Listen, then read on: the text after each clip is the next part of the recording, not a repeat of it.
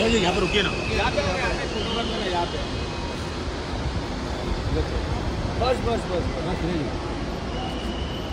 इस तरफ़। यहाँ पे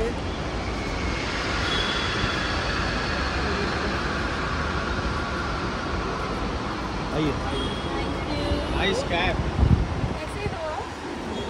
आइस कैप